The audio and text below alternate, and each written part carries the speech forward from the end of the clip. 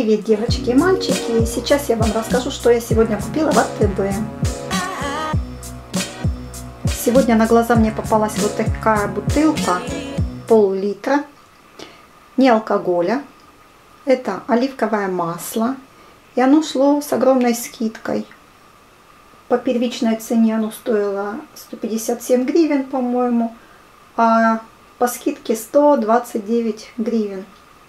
Это масло холодного первого отжима, пол-литра, Испания. И я решила его взять, потому что как раз закончилось масло. Купила соевый соус. Он, правда, пластмассовой бутылке. 14,95. Да-да, килька. 8,30. Аквамарин в томатном соусе. Не знаю, зачем я ее взяла. Пригодится. Килечка. Муся.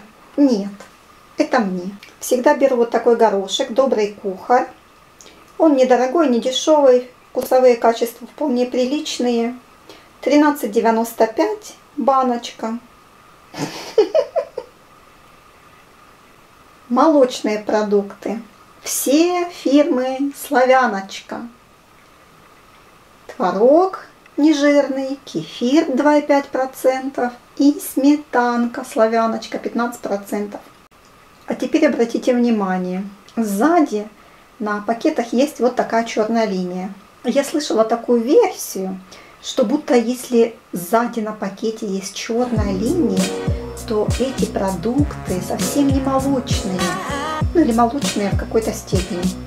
Не знаю, правда это или нет. Но я посмотрела, они все с черной линией.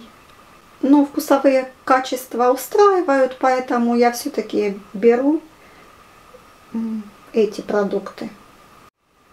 Итак, сметана славяночка 18,70. Кефир славяночка 2,5%, 1 литр, кажется 19,70.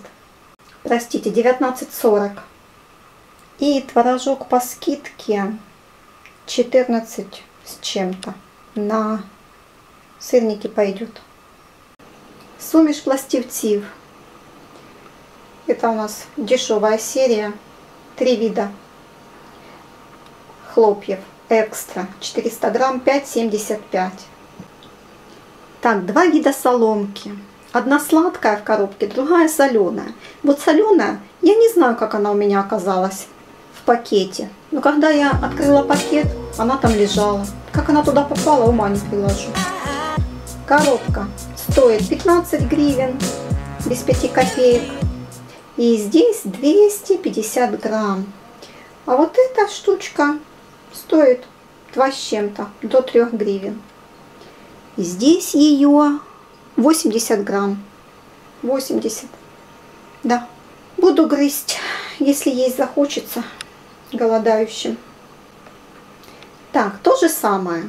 Для тех, кто худеет и хочется есть, можно перекусить журавлиную. Журавлина это, насколько я помню, это клюква. Или черносливом. Вот такой вяленый чернослив у нас в АТБ продается. Журавлина 125 грамм, чернослив 200 грамм пакетик. Журавлина 25 гривен без копеек, чернослив 32 гривны без копеек. Ну, не дешево, я вам скажу, сравнительно. Взяла вот такие карамельки с начинкой. Ну, они типа натуральные, фруктовые. Здесь вот облепиха, по-моему, с чем-то. А здесь вишня. Фирма Рошен. Вот два пакетика по 9,20. Ну, тоже на случай голода. И если горло болит, тоже хорошо. Пусть будут. Взяла вот такие сосиски из мяса индычки. Добров. Высший сорт. Стараюсь брать высший сорт. Может там хоть кусочек мяса какого-то есть. Они в районе 30 гривен стоят. Вот такие сосиски. На крошку. сейчас будете смеяться, вот я такую редиску еле выбирала в АТБ.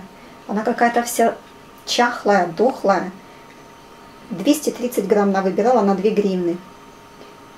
По-моему, по 23 гривны она. Или что-то около этого. Ну, тоже на окрошку.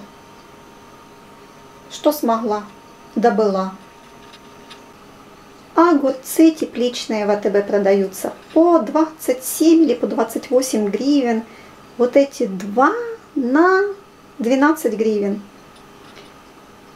Если я правильно вижу, что в чеке написано.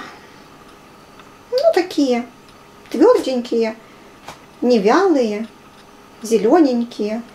Ну и на вкус мы брали уже такие, на вкус тоже вкусные. Смотрите, морковка, зверь.